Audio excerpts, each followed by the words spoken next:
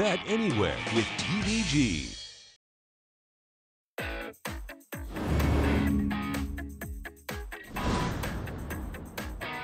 She overcame laminitis. It is Lady Eli. Sentiero Italia tries to dig in on the inside, but she's gonna do it. Lady Eli has won the Flower Bowl. She has the heart of a champion.